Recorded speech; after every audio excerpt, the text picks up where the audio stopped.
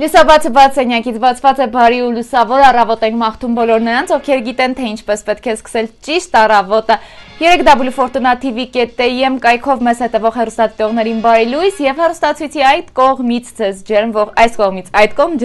ջերմ ողջույններ ենք ձեզ ուղարկում, ասում թող այս լույսն իր հետ միայն բարին բերի, բարի առավոտ։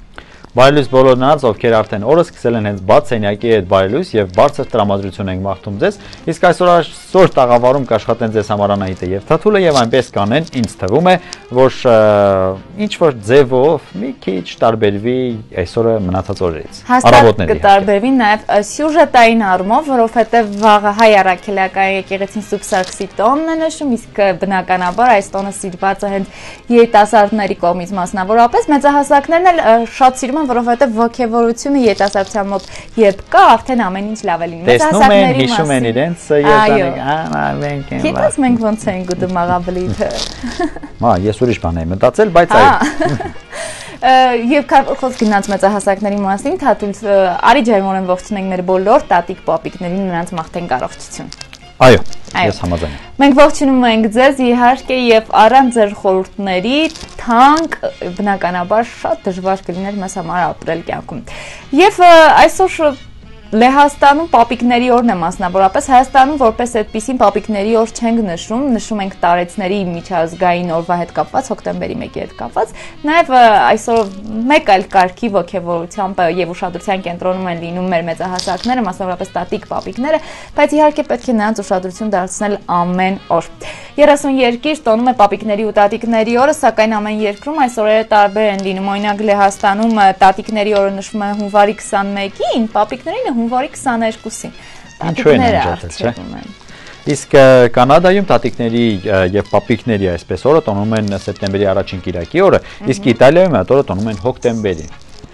Եվ Ամերիկայի Միացյալ Նահանգներում էլ տատիկների օրն ունի իր պաշտպանական հիմնը, այդ օրն ունի նաև հատուկ խորհրդանիշ։ Դա անմոռուկն է, որը հիշեցնում է մարդկային կյանքի բոլոր նրբությունները։ Այսօր երիտասարդս վաղը ծերես լինելու դրա համար պետք է այսօր հարգես ավելի տարեց մարդկանց։ Այո, իսկ ինչպես արդեն որ մեր ծրագրի սկզբում իմ գործընկերուին նշեց, որ հոկտեմբերի 1-ը դատարեցների օրն է, որը նաև նշում են եվրոպական շատ մի շարք երկրներ, այդ թվում նաև Հայաստանը, եւ այդ օրը հռչակվել է 1990 թվականի դեկտեմբերի 14-ին, իսկ հաստատումը եղել է 1991 թվականին, որից ի վեր մինչև այսօր էլ մենք նշում ենք տարեցների օրը հոկտեմբերի 1-ին։ Եվս մեկ անգամ արեթից օգտվելով շնորհավորենք բոլոր տատիկ պապիկներին, տարեցներին այս տոնի հետ կապված, իհարկե Լեհաստանում, բայց մենք չենք անդատում Լեհաստանը մեզանից։ Մենք հոկտեմբերի մեկին էլ անպայման կշնորհանք, բայց առիթից օգտվելով ձեզ մաղթում ենք քաջ առողջություն, երկարակեցություն եւ ինչպես կասել պապս, թող մեր շվակը ձեր գլխից անպակաս լինի, չէ՞։ Մեծերի իհարկե շվակը մեր գլխից անպակաս լինի։ Շատ լավ, իսկապես գլխավորն առողջություն մաղթելն է տատիկ պապիկներին եւ ուղակի պահպանել նրանց ներկայությունը եւ գնահատել ամեն մի վարքյանը, որ ապրում ենք նրանց կողքին։ Շարժ մենք առաջ մի գեղեցիկ երաշտական տեսահոլովակ, որից հետո նորից կլինենք վացենյակի տաղավարում։ Ես ուզում եմ դարձյալ ողջունել բոլոր նրանց, ովքեր արդեն մեզ հետ են վաղ առավոտից, ովքեր հենց նոր միացան, ձեզ մաղթում ենք բարի լույս, ասում բարձր տրամադրություն։ Եվ սիրելի հեռուստատիտողներ, ուզում եմ հատուկ նաև ողջունենք բոլոր մեր հեռուստատիտողներին, ովքեր դիտում են մեր հաղորդումները YouTube-ի մեր տիրույթում Fortuna 1 TV Կայք էջով հանդես նաև on-line հարթակում 3W Fortuna TV.am շնորհակալություն ընկերակցության ու վստահության համար։ Մենք այսօր մեր հաղորդումը նվիրում ենք Սուրբ Սարգսի տոնին, որովհետև վաղը բացենյակը եթերում չէ, որովհետև շաբաթ է հանգստյան օր, բայց բնականաբար Սուրբ Սարգսի տոնին ու երիտասարդների օգնության արողակարգին անդրադառնալ բացենյակը միանշանակ չէր կարող, չանդրադառնալ չէր կարող։ Այո։ Եվ խոսենք։ Շատ հետաքրքիր տոն է, ինձ թվում է բոլոր այսպես իրահարների սրտից ջուր ենք խմում հիմա եւ խոսելու ենք Սուրբ Սարգսի տոնին։ Ինձ թվում է շատերը երբ որ այսպես առաջին քայլը չեն արել, սպասում են եւ հենց այս տոնը նախա այսպես տոնական, այսպես այս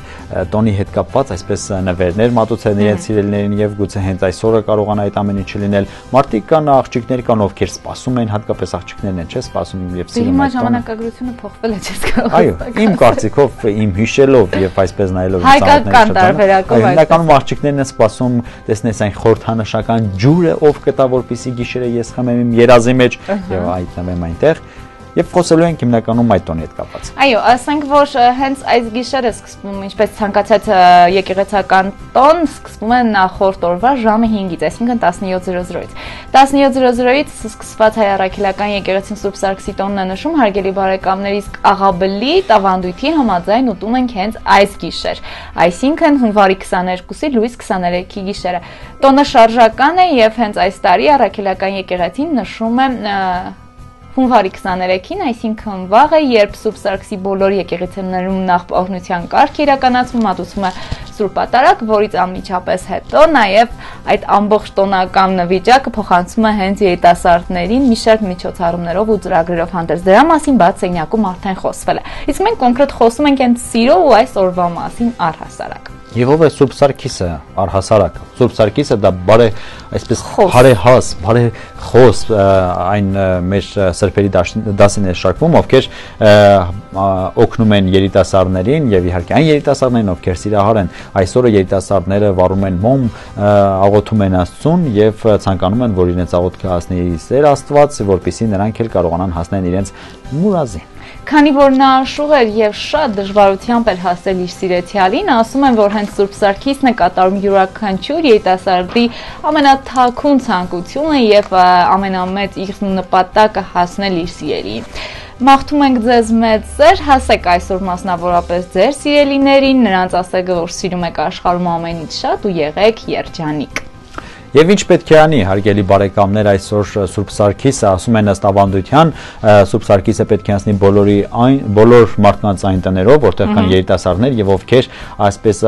պահել են ալյուրը կամ փոխինձ այսպես դրել են այնտեղ, իսկ ինքը իր սպիտակ ձիով, որն էլ խորհրդանշում է մաքրությունը, պարզությունը պետք է անցնի եւ իր նալի այսպես պայտի հետքը թողնի, որն է նշանակում է, որ այս տարի սերը կթակի ձեր դուրը եւ դուք կլինեք սիրահարված կամ կսիրվեք եւ ինչ էլ ինչ կարող եք եւ նաեւ գլխավորներից մեկը հարկելի բարեկամներ դա այն է երբ Ժողովրդական ավանդույթ ունի Սուրբ Սարգսի տոնը, այսինքն նախորդող գիշերը ետասարդներն ուտում են աղաբլիթ եւ ասում են նաեւ հենց ինչպես Թաթուլը նշեց, ով որ իրենց երազում ջուր կտա, ուրեմն ամբողջ կյանքում նաեւ ջուր կտա, հա։ Այսպես կարող ենք ասել, նաեւ հետո ազգագրագետների հետ կապված թե ինչ տեսակետներ կան իսկապես պետք է, ով պետք է պատրաստի այդ աղաբլիթը եւ ինչպես պետք է առհասարակ ուտել աղաբլիթ, ուտել, չուտել, ինչպես, ինչպես մենք խոսենք մի քիչ ավելի ուշ վարսահարդարումից ամիջապես հետո։ Պետք է իմանանք ինչպես պետք է մազերը կարգի բել, որտեղ վաղ սուրսարքիս է, այդ տոնի համար։ Միգուցե ձեր բախտը այդպես բերի։ Վարսերից բերի։ Ահա։ Դեսնեն եւ խայծը ուտեն այսպես գեղեցիկ վարսերից եւ այո։ Վարսահարատ, վարսա, այո։ Հիմա ասեմ, վարսահարական չասեմ։ Մնացեք մեզ հետ, վերասեմ, էլի։ Այո։ Բերեցի։ Նորից տաղավարում ենք, նորից ասում ենք բարի լույս բոլոր նրանց, ովքեր հենց նոր միացան մեզ եւ ավելի շատ կխնդրենք, որ հիմա դե իհարկե մեր մեծերը, ովքեր արդեն ամուսնացած են, նրանք էլ կարող են լսել, բայց ինձ թվում է այս մասը ավելի շատ կհետաքրքրի բոլոր նրանց, ովքեր սրտատրով սպասում են, թե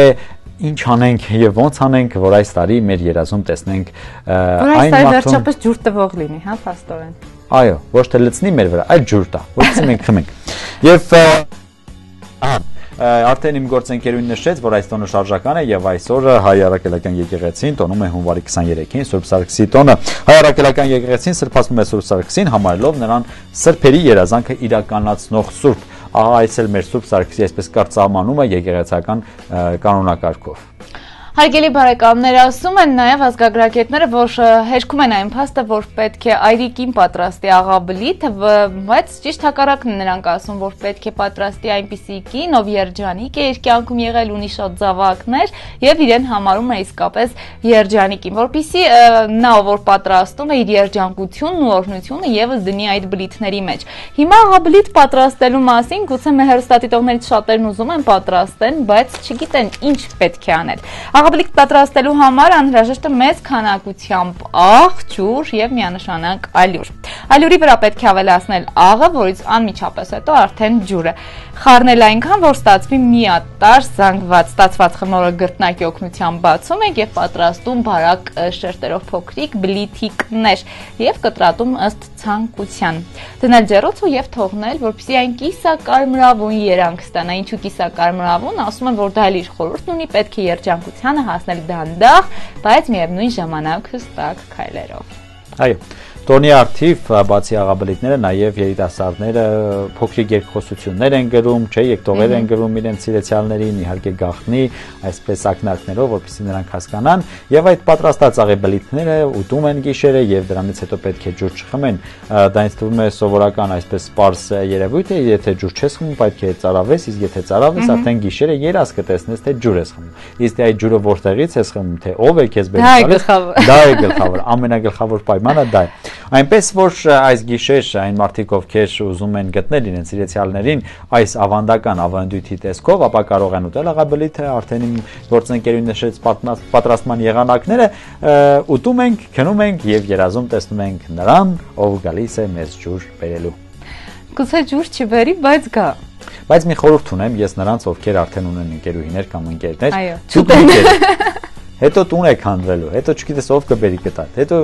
մի խոսքով պետք չէ։ Թող ուտեն նրանք, ովքեր իրոք դրա կարիքը ունեն։ Իսկ նրանք, ովքեր ուղղակի նախընտրում են Ալանի տարբերակը, ուտելիքի շատ դժվար է, բայց կարծում եմ ավանդույթը եւ տոնը կստիպի ձեզ կողքեվորի մի փոքր ուտել, կապ չունի, որ ամբողջ բլիթը ուտեն։ Ազգագրագետներն նաև այս մասին են շեշտում, հարգելի բարեկամներ, պարտադիր չէ ամբողջ բլիթը ուտել, որpիսի երազում փորձել ավելի շատ ծարավներ կայանալ, հա։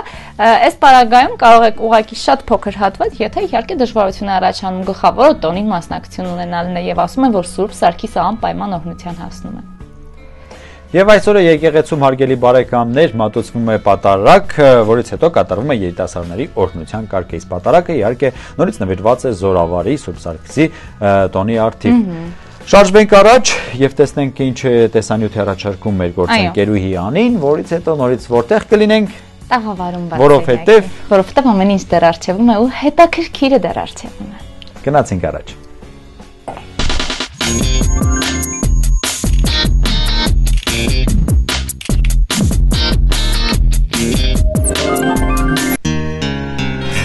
Ողջույն։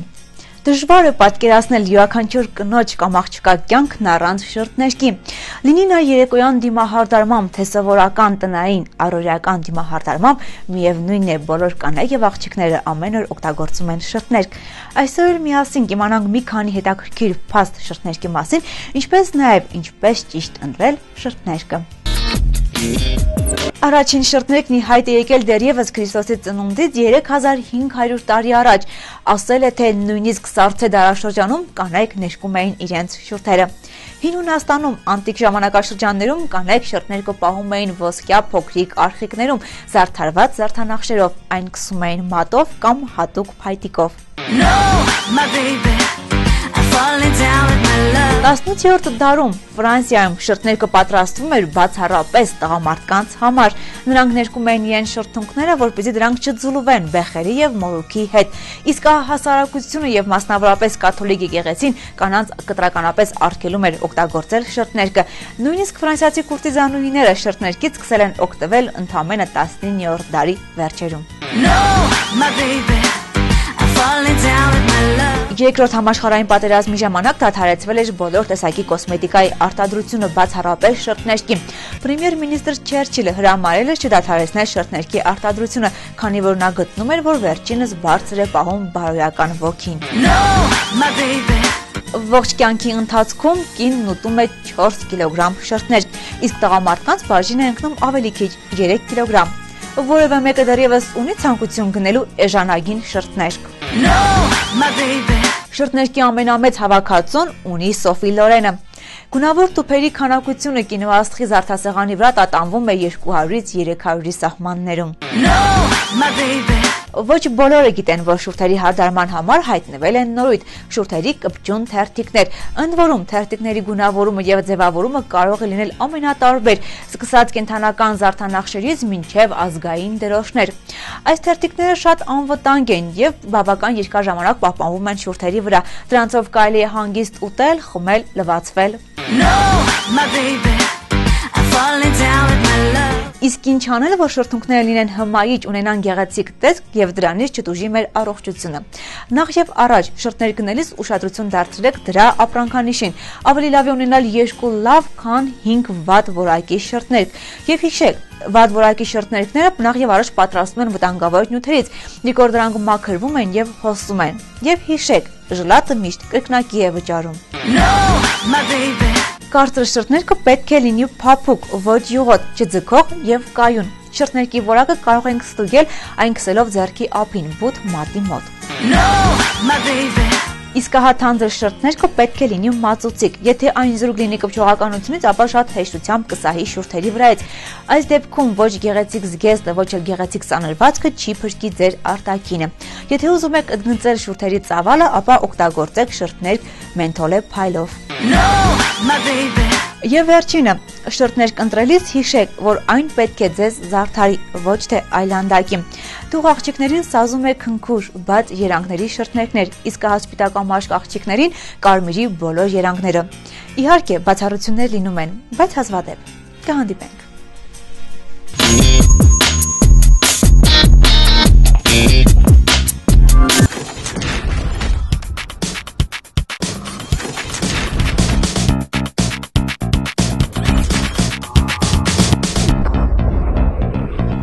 Հարգելի բարեկամներ,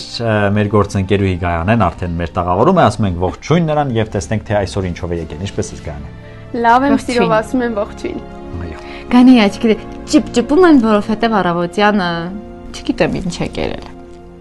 Ինչ ես կերել։ Ճիշտ է, ես բրինձ եմ կերել, բայց պետք է խոսեմ մսեղենից։ Դու սիրում ես բրինձ։ Այո, շատ։ Բայց անավանդ չամիչով եմ կերել, թաթուլը չամիչ շատ է սիրում, չէ՞։ Ես որ ասում եմ թաթուլ, պատկերացնում եմ որ չամիչ։ Չամիչ։ Ճիշտ ասած ես եմ։ Շատ է, շատ է ուղղակի սիրում երևի դրանից։ Եվ շատ հաճախ դու ճիշտ է սիրում ես չամիչ, բայց նա կխոսի Մսեղենի մաս։ Բայց կարծում եմ դու մսեղեն չես սիրում, չէ՞։ Ես չէ, այդքան էլ չէ։ Ես նաև գիտեմ, որ դու այդքան էլ չես նախընտրում։ Այո։ Սակայն ես գիտեմ, որ դու գոնե քո ընտանիքի անդամների եւ փոքրիկի համար հաստատ պատրաստում ես մսեղենով կերակրատեսակներ։ Այո։ Այո։ Իսկ դու գիտես, իսկ ուսբանը ինչպես ընտրել միսը։ Ես այստեղ չկամ։ Թող նրանք խոսեն, ես հիմա կգնամ ձեր համար մի բաժակ սուրճ կդնեմ։ Դուք այստեղ նստեք։ Վայ աշխարհի ամենաբարի գործընկերը։ Այո,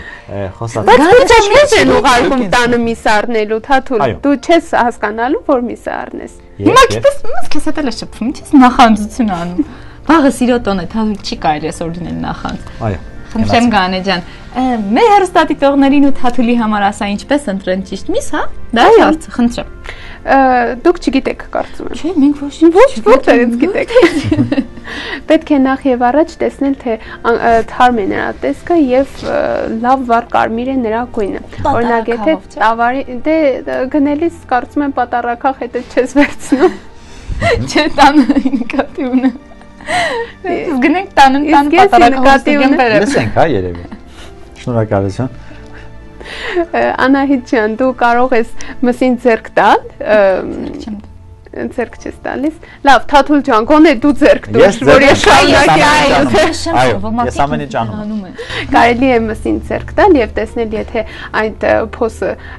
որ ընկնում է մսի վրա, եթե առածկականությամբ հետ է դառնում, ապա դա իհարկե թարմ միս է։ Նույն բանը կարելի է ասել նաեւ թրջնեղենի եւ իհարկե ծկնեղենի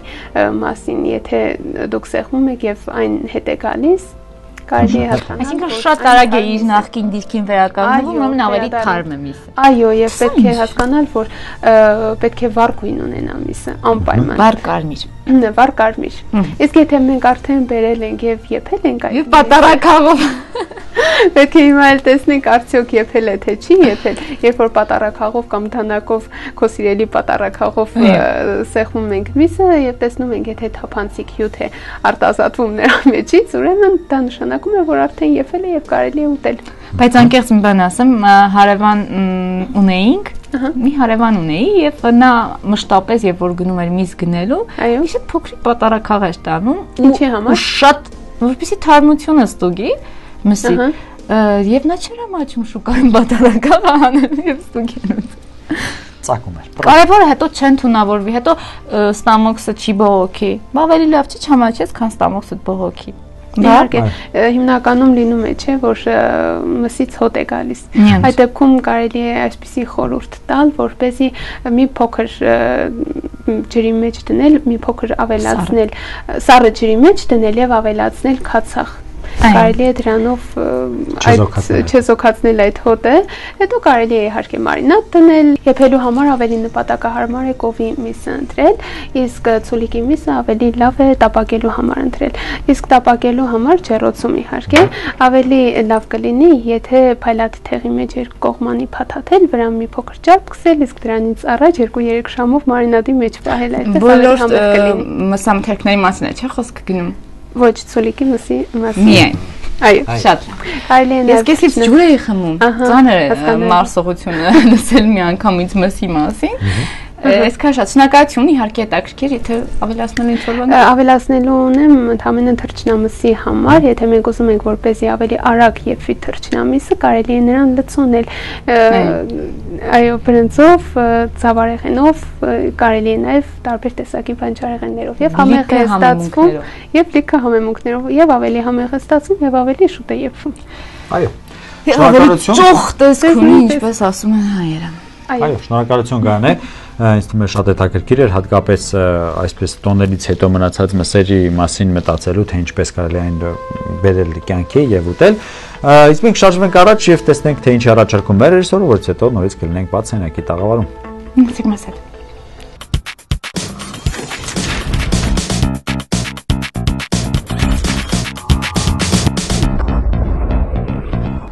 Մենք շարունակում ենք աշխատել եթերում բարի լույս ու բարձր տրամադրություն։ Եվ վաղը մենք նշում ենք Սուրբ Սարգսի օրը, հարգելի բարեկամներ, բայց Սուրբ Սարգսին տանող ճանապարհները շատ տարբեր կարող են լինել։ Այո Խոսքը ստանում է նրան, որ ձեր կյանքի ինտրիալին կարող եք շատ տարբեր ձևերով հանդիպել եւ պարտադիր չէ, որ նա ձեզ երազում ջուր տա։ Գոյություն են գործակալություններ, որոնք կարող են նաեւ այս հարցում ձեզ օգնել։ Խոսքը ստարա դեպի հյուրասրահ եւ սիրով պետք է ներկայացնեմ նաեւ մեր հյուրին, Նաիրա Պեպանյանն է Բացենյակի տաղավարում սիրո կամուրջներ ամուսնական գործակալության հիմնադիր տնորեն։ Բարի առավոտ։ Բարի առավոտ։ Բարև ձեզ։ Ինչպե՞ս եք։ Շատ լավ։ Ինչպես են առավոտները սկսվում ամուսնական գործակալությունում աշխատանքային առավոտները։ Շատ հետաքրքիր է։ Ուրեմն բնականաբար առավոտյան երբ գալիս ենք, ունենք եւ նախատեսված, ասենք, հաջախորդներ, ովքեր արդեն նախապես զգուշացրել են, որովհետեւ մեր գրաֆիկը հատուկ սահմանված կերպով է ընթանում, որպեսզի յուրաքանչյուր հաջախորդ առանձին ներկայանա եւ մեկը մյուսին չհանդիպեն, քանի որ մարդկանց համար գաղտնիությունը շատ կարեւոր է։ Այո Եվ լինում են նաև այնպիսի մարդիկ, ովքեր ուղակի այսպես անցնում են եւ մտնում են հետաքրքրվում, տեսնեն ինչով ենք զբաղվում, ինչպես ենք աշխատում եւ այլն, իրենց հետաքրքրող հարցեր, այնպես որ եւ պլանային առավոտներ են լինում եւ ոչ պլանային առավոտներ եւ յուրաքանչյուրն իր հետաքրքրությունն ունի։ Իսկ ձեր առավոտները մասնավորապես սուրճով, թեյով, վազքով, աշխատանքով ինչպես են սկսվում։ Ես ծանրաբեռնված մարդ եմ, հաճելիորեն ծանրաբեռնված, ինչից երբեք չեմ բողոքել, այլ հակառակ շատ լավ եմ զգում քանի որ ես միաժամանակ նաև ուսուցիչ եմ այդ գործն անելուց զատ, հետեւաբար իմ առավոտները սկսվում են շատ տարբեր։ Առաջինը պայմանավորված սերով Բնականաբար, երբ առավոտյան արթնանում ես, ես սուրճ չեմ խմում, նախընտրում եմ թեյ, բայց ավելի շատ մի թեթև էսպես գիմնաստիկա, հետո նոր ասենք մնացած ատրիբուտները, որ պարտադիր են եւ իհարկե գնալ դեպի աշխատանքի ճանապարհ։ ապրելակերպով է ասում։ Եւ տեսնենք թե որտեղից այս գաղափարն առաջացավ սիրո կամուրջներ եւ սիրո կամուրջ, այո։ Ուրեմն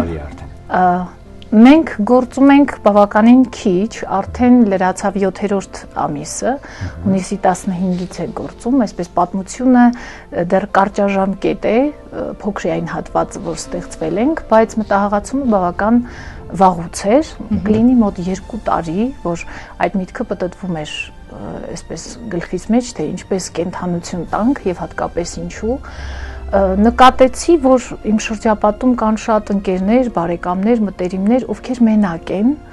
եւ բնականաբար մարդը ինքն իր համար փնտրել դժվարանում է։ Սա հայտնի փաստ է, հատկապես ելնելով հայկական մենտալիտետից թե տղամարդիկ, թե կանայք դժվարանում են այս հարցը լուծել եւ բնականաբար նման դեպքերում պետք է օգնող ձեռք։ Իսկ երբ որ ուզում ես, որ երջանիկ լինեն մարդիկ, ուզում ես միջամտել լավ իմաստով, չափավոր իմաստով միջամտել, որովհետեւ կարողանաս երկու միայնակ մարդկանց դարձնել մեկ ընդհանրություն, ինչպես կասի Շեքսպիրը, այրուկին մեկ մարմին։ Եվ այս նպատակով մտածեցինք հիմնել գործակալություն եւ սկսել կոնկրետ ռեալ կերպով աշխատել, որովհետեւ փորձառությունը կա, որ մինչ հայտել, ասենք, լավ մտերիմներ, ծանոթներ կան, որ տեսնում ես, որ առանձին են ու շատ լավն են եւ շատ լավ կլինի, որ ընդամենը ծանոթացնելուց հետո դու նրանց դարձնես ընտանիք հատկապես ինձ համար շատ կարևոր է որ հայկական ընտանիքներ ձևավորվեն գուցե մի քիչ ինձ ազգայնամոլության մեջ մեղադրեն, խնդիր չեմ տեսնում։ Թող մեղադրեն ովքեր լավ չեն այդ ուղությամբ մի քիչ ուրիշ կերպ կմտածեն։ Ես իհարկե դեմ չեմ, որ նաև օտարազգի մարդիկ լինեն, բայց մտածում ենք, որ հայերը քիչ են, եւ հատկապես շատ ծրված են, եթե մի ազգի 10 միլիոնը դրսում է, ուրեմն արժե խնայողաբար վերաբերվել մեր գենոֆոնդին եւ մնացած հանգամանքներին, որպիսի հայի ազնվարյուն տեսակը պահպանվի։ Գոնե եղածը մնա Այո, այո։ Եվ քանի որ շատերն են դուրս գալիս, ցավոք, այսօր հանգամանքներն են ստիպում, դուրս են գալիս եւ դրսում օտարազգի կին կամ տղամարդ են փնտրում, գտնում, ստացվում է, չի ստացվում, հատկապես որ շատ կարևոր է ընտանիքի բարօրության համար նաև ընդհանուր մտածողությունը։ Իսկ մտածողությունները տարբերվում են նաև եւ ազգային դատողության պատճառով, եւ լեզվի, եւ դավանանքի, եւ նման հարցերի։ Այս պատճառով ավելի շատ աշխատում ենք, որ հայ լինեն, հայ քրիստոնյաների ընտանիքներ կազմվեն եւ մեր ազգը պահպանենք։ Մենք իրավունք չունենք շրայլորեն այսպես ցիրուցան անել մեզ, որովհետեւ իսկապես լավն ենք եւ ինձ համար շատ հաճելի է, երբ նայում ես, որ հայ ընտանիք է ձևավորվում։ Շատ դրական, պոզիտիվ Շատ լավ է։ Ես խոսեցի ազգայնությունից, բայց նաև մենթալիտետը որոշակիորեն կարող է ճիշտ հակառակ պատկերը ստանձնել, հա, փոքր քաղաք, որտեղ մարդիկ շատ գրեթե բոլորը իրար լավ գիտեն, լավ են ճանաչում։ Ի վերջո հայերը հայերի ավանդույթը գալիս է նաև միջնորդությունը ժողովրդական տարբերակով ասած սաբաբլիները։ Այս դեպքում որքանով է արդյոք մենթալիտետը յետ մղվում, որpիսի նա ուզում է, այո, նա ով ուզում է իր ընտրյալին գտնել, նա ով ուզում է իր կյանքը կապել, գա դիմի գործակալություն եւ ոչ թե բարեկամի, չգիտեմ, ում ասի, որ նրա համար մի լավ աղջիկ ճանեն կամ մի լավ տղա։ Ուրեմն երբ մենք աշխատանքը սկսում էինք, ես արդեն նախապես պատկերացնում էի, որ այդ խնդրի առաջ պիտի կանգնեմ։ Էլի շատ խնդիրներ կան, որոնց շուրջ մտածում ես, որևէ գործ սկսելուց առաջ բնականաբար բավականին խորհելու տեղ կա եւ հատկապես ինձ համար շատ կարևոր է ես հայ քրիստոնյա եմ եւ այս պատճառով գառիթ եղավ խորհրդակցել նաեւ հոգեվորականների հետ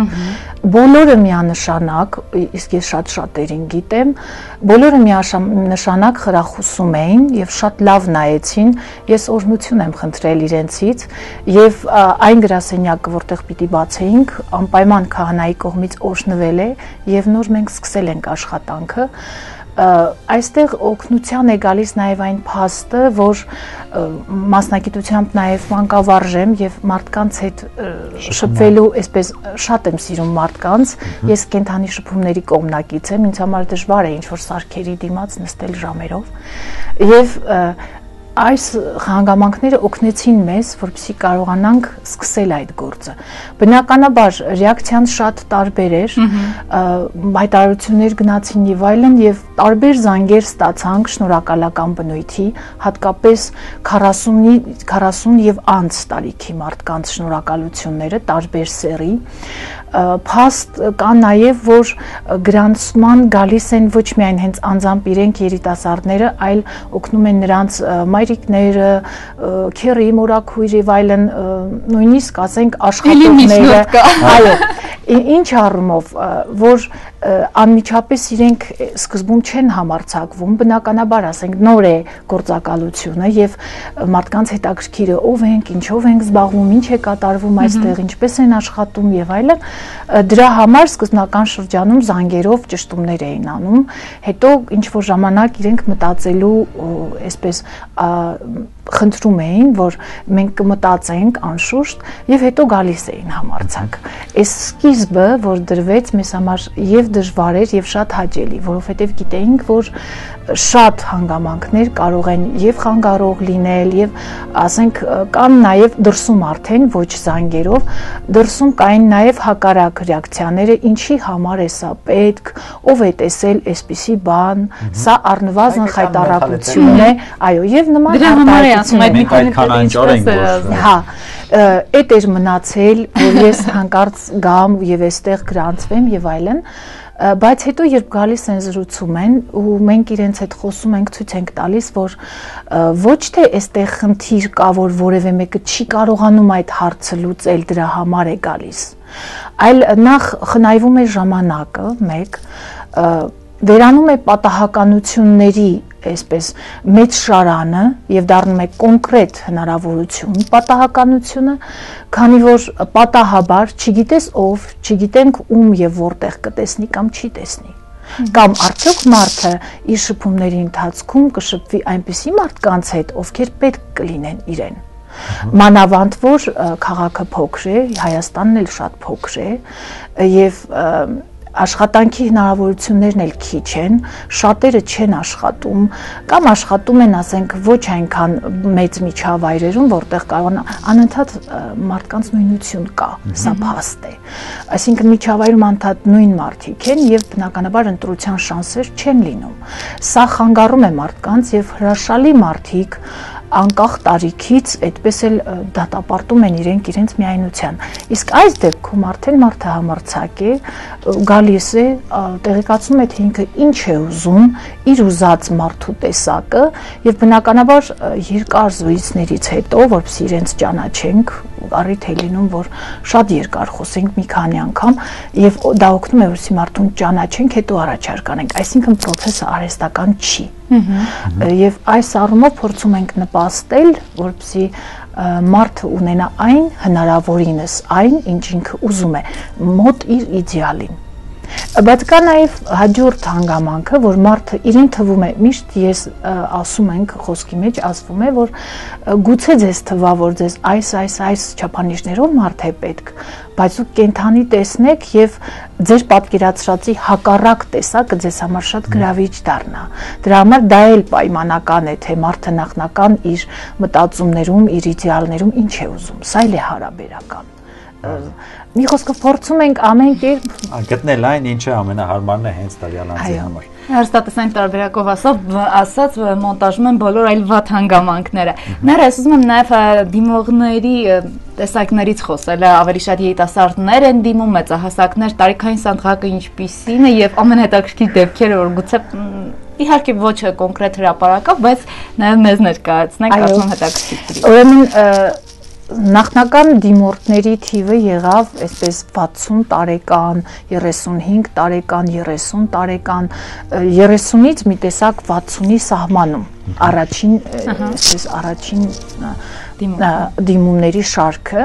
հետագայում արդեն երբ շփվեցին եւ տեսան որ ասեն գալիս են տեղեկանում են հետո մեկը մյուսին են ասում դա ավելի լավ գովազդ է ստացվում քան հազարավոր պաշտոնական գովազդներ եւ աստիճանաբար սկսեց լայնանալի 60-ից ներքև եւ նաեւ 35-ից վերև սահմանը այսօր արդեն 7-րդ ամսվա տվյալներով ունենք 20-ից մինչև 70 տարեկան հաճախորդներ, այո։ Սկզբնական շրջանում պիտի խոստովանեմ, որ շատ համարցակ էին տղամարդիկ եւ դա բնական է մեր մենտալիտետից ելնելով։ Հետագայում արդեն աղջիկները սկսեցին ավելի համարցակ լինել, որովհետեւ երբ իրենց բացատրում էինք, որ տղաները շատ լավ են նայում դրան, շատ լավ են վերաբերվում, ինչը ինձ հիացնում է եւ շնորհակալություն հայ տղամարդկանց այդպիսի վարմունքի համար որովհետև ես նաև այդ մտավախությունը ունեի, բայց շատ լավ է, որ իրենք հասկանում են, որ դա ոչ միայն չի նվազեցնում հայ աղջկա արժանինքները, այլ հակառակը։ Ավելի կոնկրետ քայլերի է դիմում հայուհին իրենը գտնելու եւ լավ օջախ կազմելու համար։ Եվ այս փաստերը մեզ օգնեցին, որ առաջ գնանք։ Շատ եք հարսանիքներ հravirվում։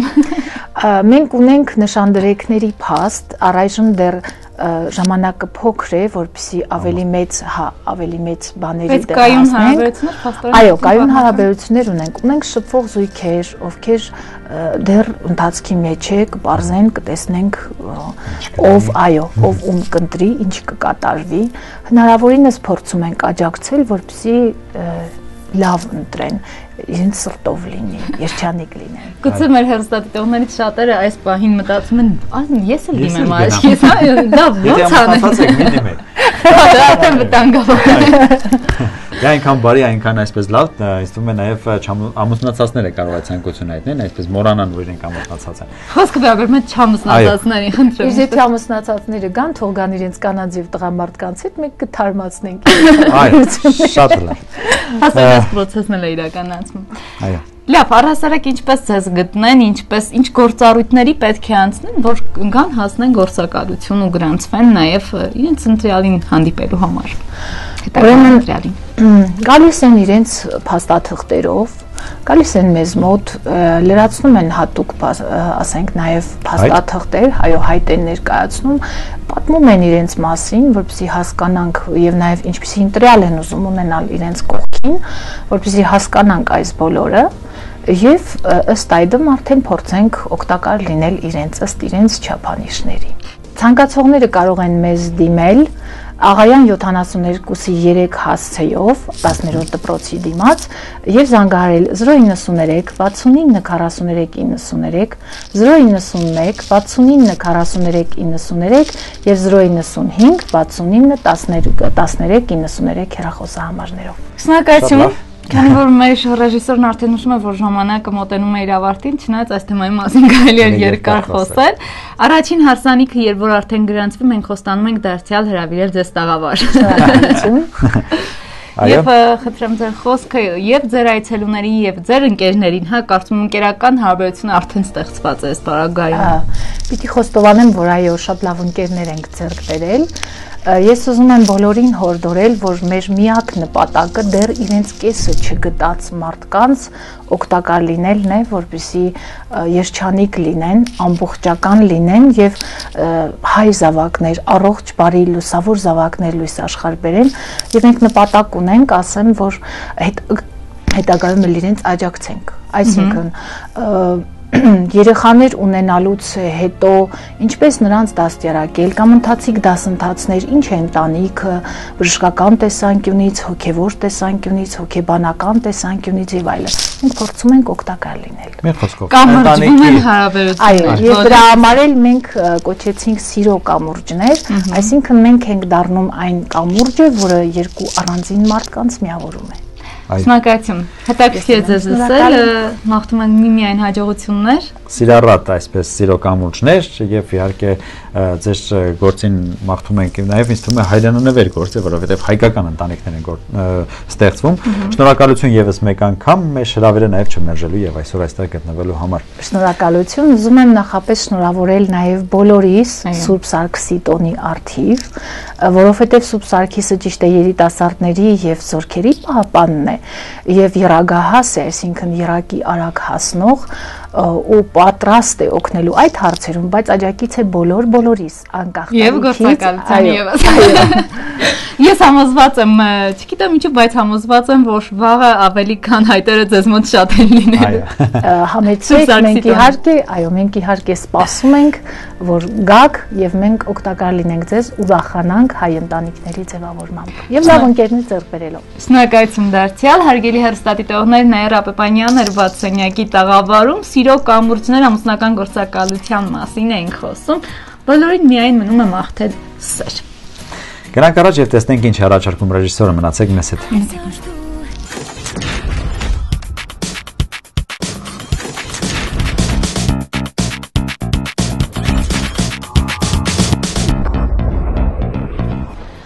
Մենք այսօր մեր եթերն ամբողջությամբ նվիրում ենք Սիրո տոնին եւ իհարկե Սուրբ Սարգսի օրվան, որովհետեւ հայ առաքելական եկեղեցին հենց վաղն է նշելու Սուրբ Սարգսի տոնը։ Մենք վաղ հնարավորություն չենք ունենա ձեր շնորհավորելուց ելի երիտասարդներ, բայց այսօր ենք շնորհավորում դեմ չեք, չէ՞ ամենաառաջինը մենք ենք շնորհավորում։ Ինչու պետք է դեմ լինի։ Ես ասեցի, ես խոսեցի, ես պատասխանեցի։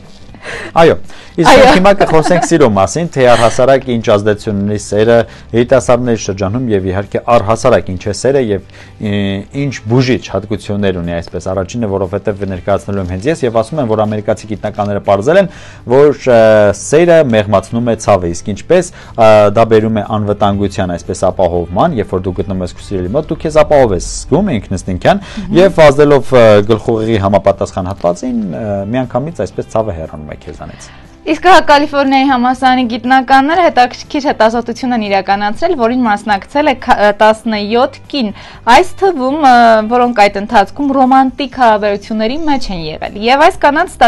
ստացել են էլեկտրական ցուցումներ գտնվելով մագնիսական հատ հատուկ տեխնիկայի ներքո։ Միևնույն ժամանակ կանանց ցուցադրվել են նրանց սիրեցյալների, անծանոթ տղամարդկանց, ինչպես նաև առարկաների նկարներ։ Փորձարկման ընթացքում կանայք 20 բալանոց սանդղակով գնահատել են յուրաքանչյուր ցնցումից ստացված ցավը։ Պարզվել է, որ ամենաթույլ ցավը կանայք զգացել են իրենց ելիի նկարին նայելիս։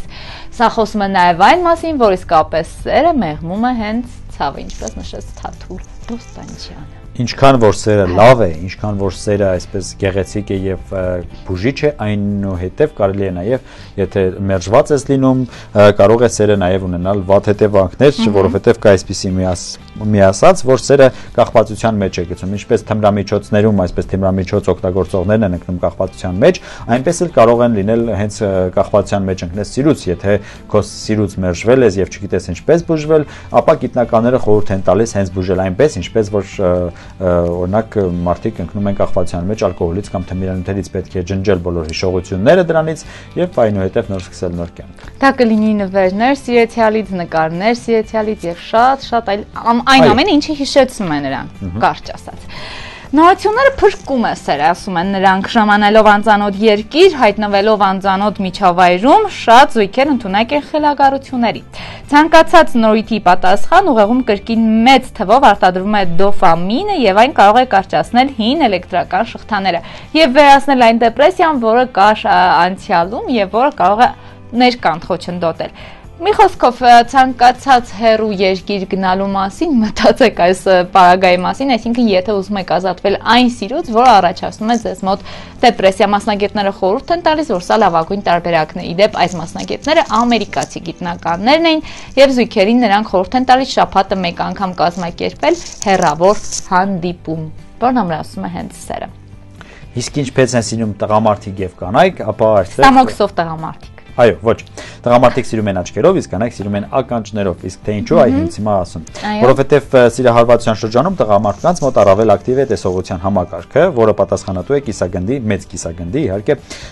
կեղևի գոտին, այնպես որ իզուր չի ասված, որ տղամարդիկ սիրում են հենց աչքերով, ապա դրա համար խորհուրդ է տրվում բոլոր աղջիկներին, եթե ուզում եք գերել այդ տղային, ապա պետք է այնպես անեք, որ ձեր արտակնապես այսպես տվյալները ել ավելի արտահայտիչ լինի եւ այնպես անեք, որ միշտ նրա աչքի առջև լինեք, որովհետեւ նրանք հիմնականում սիրում են աչքերով։ Իսկ կանայք սիրում են ականջներով, ինչու է ասված այդպես, որովհետեւ անց են կացրել շոտլանդացի մի գիտնական, անց է կացրել այսպիսի մի փորձակնություն եւ բերել են նրան, որ աղջիկները ավելի շատ սիրում են, երբ որ նրանց ականջի տակ խոսում են, խոստումներ են տալիս, գեղեցիկ խոսքեր են ասում նրանց գեղեցկության մասին կամ, չգիտեմ, արտաքին տվյալների մասին եւ նրանք սիրում են։ Եվ աղջիկները հիմնականում սիրում են լսել ցածր տոնով այսպիսի մարդկանց, այլ ոչ թե բարձր 45 կանայք մասնակցել են այդ այո 45 կանայք, ահա։ Եվ պարզվել է հետագայում, որ նրանք հիշում են այն տղամարդկանց, ովքեր ավելի ցածր տոնով են խոսել, ովքեր ավելի այսպես խորթավոր տոնով են խոսել եւ նրանք էլ հիշել են նրանց, ցույց է տալել նրանց, որ կանայք սիրում են ականջներով։ Ոչ թե ականջներն են սիրում տղամարդկանց, այլ ականջներով են սիրում, երբ որ իրենց ականջին այսպես բլբլբլբլ։ Այսինքն երբ խոսում են։ Այո։ Այո։ Թե ինչպես ինձ թվում է ես հենց հիմա կպարզեմ իհարկե երբ որ արդեն մենք չլինենք տաղավարում, ես կխոսեցնեմ իմ գործընկերուհին եւ հաջորդ մեր եթերների ժամանակ կբացահայտեմ, կասեմ, այ արդյոք նրա դեպքում եղել է այդպես թե ոչ, բայց ինչևից է շարժվենք առաջ, որովհետեւ ինչն է արժևում որպեսի արժևում ամենահետաքրքիրն է։ Միխանովյան, այ։ Եվ արժևում տատիկի դեղատոմ թաթուլ։ Գոնե կամած խոսեի։ Մնացեք մեզ հետ հետաքրքիր դեռ արժևում է։ Այո, իհարկե արժևում է։ իհարկե օրվա սկզբում հարգելի հեռուստադիտողներ խոսեցինք, որ այսօր Լեհաստանում տատիկ պապիկների օրն է, իսկ մենք իհարկե այնքան ենք սիրում մեր տատիկ պապիկներին, որ նույնիսկ մեր հաղորդման ժամանակ հենց տեղ ենք հատկացրել իհարկե տատիկներին, բայց դեմ հո մենք գիտենք, որ տատիկները հենց դեղատոմսերը հենց այնպես չեն պատրաստում, պապիկները նրանց այսպես վրա են գցում, այսպես ասում են այս սա որ խառնես ավելի լավ կլիներ։ Դե իհարկե դա մենք ամեն ինչ գիտենք, այստեղ գեղեցիկ սերի ներկայացուցիչ ինչ որ բողոքի ակցիաներ է կատարում։ Մտածելը որ ինքը գտնվում է Բաղրամյան պողոտայում, բայց այնուամենայնիվ մենք հիմա բաց սենակում ենք։ Եվ ասենք ներկայացնելու ենք այն մերքերը, որոնք հիմնականում հարգելի բարեկամներ, դե իհարկե նորից կապել ենք Սիրոտոնի հետ եւ տեսնենք թե ինչ մերքեր կան, որոնք որտեղ ոնց եմ կռիվ գցում թաթուլ։ Տատիկի տես շատ սիրում, թե պապիկի։ Իմ տատիկը գիտի, որ իրեն է շատ սիրում։ Պապիկս նույնպես չանցավ։ Թաթու, դու ավելի շատ սիրում ես քո տատիկին թե քո պապիկին։ Ես սիրում եմ իմ տատիկին։ Սիրում ես քո տատիկին։ Որովհետև տղա թորնիկները սիրում են տատիկներին, աղջիկները պապիկներին։ Իհարկե, պապիկներից էլ եմ շատ սիրում, բայց տատիկս ուրիշ։ Հիմա գիտես ինչ է ասում, մեռնիմ Ջոնի Թաթուլ ջան, հաստատ ասում է տատիկը։ Տատիկս այսօր այժմ այն գործի է մագնացել է տեղ։ Գործի տեղից կա։ Ինչ սխալ մի հանիշ Թաթուլ ջան։ Խոսում ենք սիրո մրգերի մասին, ողջունում եմ բոլոր տատիկներին ու պապիկներին։ Ես էլ ողջունում եմ իմ տատիկին ու մաղթում առողջություն ու բոլոր բոլոր տատիկներին։ Հարգելի բարեկամներ, համարվում է, որ ձմերուկը սիրո միշք է եւ խոսենք նաեւ թե ինչ օգտակարության մասին է խոսում ձմերուկի եւ ձմերուկը լինելով ինչպես արդեն նշեցի սիրո միսկ պարունակում է զգալի քանակությամբ ցիտրուլին սա ամինաթթուն է որը հանգստացնում է արյունատար անոթները ձմերուկը նաեւ ամրացնում է իմունային համակարգը եւ այսպեսի խոսք կա չէ որ ասում են ամռան ինչքան ձմերուկ ուտես ձմռանն այնքան առողջ կլինես սա իսկապես խոսում է այդ մասին եւ շատ օգտակար է հատկապես նաեւ ձմերուկի կորիզները տատիկները դրանք չորացնում են եւ Ձմռան այն տալիս են թորնիկներին, որ կամած կամած ուտեն կես կատակես լուրջային արևածաղիկ է հիշեցնում, բայց շատ կարևոր է հատկապես իմունային համակարգի համար։ Մեքսիկայում հարգելի հեռուստադիտողներ բոլոր այն կանայք, ովքեր նախընտրում են ավոկադո, ասում են, որ դա սիրո միրգ է, որովհետև այդ կանայք հիմնականում ավելի շատ գրավիչ են լինում, բայց գրավիչ ազդեցություն թողնելուց բացի ավոկադոն պարունակում է 13 տեսակի վիտամիններ, այդ թվում վիտամին E, որը դանդաղեցնում է ծերացումը։ Իր էներգետիկ արժեքներով ավոկադոն համարվում է այն մթերքների հետ, ինչպիսիք են օրինակ միսը եւ հակիտը, այդ պարունակում է ճարպանյութեր, մանրաթրել, որոնք էլ կարեւոր են մաշկի եւ մազերի համար ավելի գրավիչ ու ցանկալի մարդ դարձնում է կնոջը հատկապես երբ նա ավելի շատ է օգտագործում նեխուր։ Այս կարծիքին էին հին Հունաստանում եւ այսօր էլ Հռոմում, հին հին Ռոմում եւ Հունաստանում էլ այսօր շարունակում են այս կարծիքին մնալ։ Չնայած որ նեխուրն այնքան էլ առաջին հայացքից գրավիչ մթերք չի հանդիսանում, բայց ճիշտ հակառակն է այն օգտագործողների պարագայում։ Նրանք ավելի առանցքական մարմին են ունենում, որն էլ երիտասարդություն է հաղորդում եւ իհարկե կիրք օգտակար է մտավոր աշխատանքով զբաղվողների համար։ Նորություն չենք ասի, բայց դե իհարկե ամենա այսպես գլխավոր երևույթը դա շոկոլադ։ Այո, շոկոլադ համարվում է ամենասիրային այսպես ուտելիքը, ամենասիրային այսպես, քանի որ համ քաղցր է, համ համով է, համ մի խոսքով, համ էլ է տեսքով է, եթե սիրուն ես պատրաստում։ Բացի այդ, նաև շատ կարևոր է մեր համար, հատկապես արյունատար համակարգի համար, որովհետև նա շատ մեծ հակաօքսիդանտ է եւ կարգավորում է արյան շրջանառությունը։ Եվ մասնավորապես սև շոկոլադի սիրահարներն ամենառոմանտիկ մարդիկ են, իսկ ինչպես գիտենք, վիճակագրությունը վերջերս նաև մենք ներկայացրեցինք, բաց սենյակում, որ աշխարհի ամենառոմանտիկ մարդիկ ապրում են ոչ ավել, ոչ պակաս Փարիզում։ Եվ իմացա սպիտակում, հայ, այսպես ուրախությունից ցնծում եմ։ Ուզում եմ սպիտակ ասեմ, եթե սիրում ես դարը սուտը, կարող եմ սպիտակ ասել բայց քաղցր ճշմարտությունն եմ ուզում ասել եւ քաղցր շոկոլադ, չէ, սև շոկոլադ, որը արդեն խոսում է նաեւ ֆրանսիացիների ռոմանտիզմի մասին, իսկ նրանք ովքեր սիրում են սև դառը շոկոլադ, նրանք ավելի ռոմանտիկ են, քան ճիշտ հակառակ, այսինքն սպիտակ կամ կաթնային կամ տարբերալի երանգները համերը նախընտրողները։ Մնում եք մեզ հետ, որովհետև հետաքրքիր միանշանակ արժևում է Բարեկամներ, բարի լույս, եթե հենց նոր միացաք բաց սենյակին ու ջերմ ողջույններ բոլոր նրանց, ովքեր վաղ առավոտից հետևում էին բաց սենյակին, Ֆորտունա մազայնի ուղեկցությամբ, նաև գուցե մեզ հետևում են եւ մեր հաղորդումներին հետևում են YouTube-ի մեր տիրույթում Ֆորտունա 1 TV, 3w.fortuna.tv.am, սա էլ մեր on-line հարթակն է եւ մեր պաշտոնական կայք էջում բոլոր հաղորդումներին կարող եք հետևել։ Եվ թաթուր խոսենք իհարկե սիրո մասին, արդեն կամանց կամանց հաղորդումը տանելով իր եզրահանգմանը եւ խոսենք մեծերի ասած խոսքերի մասին, որոնք հենց արտացոլում են սերը եւ այդ չբացահայտված երևույթը, որը ամբողջովին դեռևս չի բացառի։ Այս ճպճպ աչքերով ինչի ես նայում։ Մեզ իմ ասածին թաթու։ Եթե հետաքրքիր մտքեր են, բարձրապես այսպես աչքի տակով է անցկացնում եւ իրոք շատ հետաքրքիր են եւ փիլիսոփայական ինձ թվում է նաեւ նույնիսկ այլաբանական, թե ինչպես կարելի է ամեն մարդ, ամեն ոք հասկանալ այդպես ինչպես որ կա։ Եվ ինչ ասել մեծան Արիստոտելը Սիրո մասին։ Սիրո մասին, այո։ Չի սիրում նա, ով չի սիրում մշտապես։ Դա կապ չունի առհասարակ։ Այո Մի խոսքով ինձ հասկացար։ Եվ ինձ թվում է հերոստատողն այնպես հասկացա։ Բայց նանցած է հերոստատողների նկատիվում է։ Ես բանտում հասկացա այն, ինչի չէի կարողանում միջև վերջ մտածել՝ սեր։ Սիրել բոլորին, հասկացա, որ ուրիշը ես եմ եւ սիրել եմ նրան, եթե դա կա քո մեջ, ապա բանականությունը կարող է հուշել ճշմարտությունը։ Եվ ես երբեք այդպես երջանիկ չի եղել, ինչպես այն ակնթարթում, երբ իմ մեջ զգացի այդ սերը։ Սոկրատեսն է ասել այս մասին։ Եվ սիրում ես քո ընկերին ավելի մեծ ես, քան եթե սիրում ես միայն քեզ, միայն քո սերը։ Սա էլ ասել է Ավետիք Իսահակյանը։ Սիրել նշանակում է անդադար պայքարել հազարավոր խոչընդոտների մեջ եւ գուցե սրանում է իսկական ու իրական սերը։ Անույ Կոկո Շանելն էլ հարգելի բարեկամներ, հետաքրքիր է ասել, ծերությունը չի պաշտպանում սիրուց, բայց սերը պաշտպանում է ծերությունից։ Հնարավոր է Աստված ուզում է, որ մենք հանդիպենք ոչ միայն այն մարդկանց, նախքան կհանդիպենք այն միակին, որպեսզի հենց դա կատարվի, մենք երախտապարտ լինել։ Եվ այս մասին ասել է Գաբրիել Գարսիա Մարկես։ Եթե դու գիտես, որ նա երբեք քոնը չի լինելու, ապա սիրել նրան կարող ես անverջ,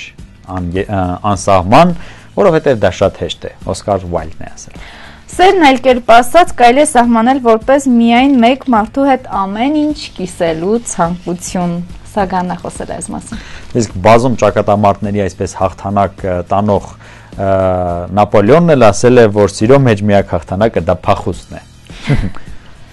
Դե, նա էլի պարադոքսալ, չէ՞։ Այո։ Որպեսզի կինն ու տղամարդը սիրեն իսկապես միմյանց, պետք է ոչ միայն միասին ծիծաղեն նույն փաստի վրա, այլ նաև ցավ պատճառեն մեկ-մեկու ասում են, չէ, որ սիրահարված ես լինում մի տեսակ կամ ծրված ես լինում կամ չգիտեմ, այսպես տարված ես լինում դրանով եւ ասում են եւ սիրել եւ իմաստուն լինել, դա անհնարին է, ասել է Բեկոն։ Սիրո մեկ ժամը մի ամբողջ կյանք արժե, Բալզակն է ասել այսպես։ Սերը մեկն է այն տարապանքներից, որոնք անհնարին է թաքցնել։ Մի բառ, մի անզգուշ հայացք, նույնիսկ լռություն բավական է այն մատնելու համար, ասել է Ալբերը։ Լարոշ Ֆուկոն էլ սիրո մասին այսպես է խոսում, քանի սիրում ես, դեռ կարող ես ներել ու քանի ներում ես, ուրեմն դեռ սիրում ես։ Սերը նման է համաճարակային հիվանդության, որքան շատ ենք մենք սարսափում նրանից, այնքան ավելի անպաշտպան ենք դառնում։ Դա էլ ասել է Շամաֆոր։ Եվ մի ֆիլիսոփա։ Եթե սիրում ես, չես կարող լինել իմաստուն։ Այո, դա արդեն ասվեց։ Մի հատ էլ ասա, ոչինչ։ Այո, ինչու եմ ասում։ Ինչ ես, ինչ ես ուզում դրա տակ ասել։ Ուզում եմ ողջունել մեր բոլոր հեռուստադիտողներին, ասել, որ լինեն այսօր ավելի իմաստուն եւ ուտեն աղաբլիթ։ Այո, բայց իհարկե մենք արդեն նշեցինք լինել սիրար եւ լինել իմաստուն դա անհնարին է մի փորձեք եւ մի տարեք որովհետեւ հենց այդպես դուք ավելի գեղեցիկ եք լինում որովհետեւ ամեն մի երիտասարդական տարիք ամեն մի տարիք ունի իր գեղեցկությունը իսկ երիտասարդական տարիքում լինել երիտասարդ եւ լինել չսիրված դա նշանակում է չապրել ապրեք այսօրվա կյանքով եղեք ձեր սիրելիների կողքին եւ այսօրը ել ավելի կարեւորեք նրանց համար ովքեր ում համար դուք այսպես դողում եք Ամբողջ աշխարհում հարակելի բարեկամներ սիրո տոնին իհարկե մենք ընդունում ենք որպես Սուրբ Սարգիսը, բայց գոյություն աշխարհում նաև Վալենտինի օր։ Ամենաշատ ամուսնական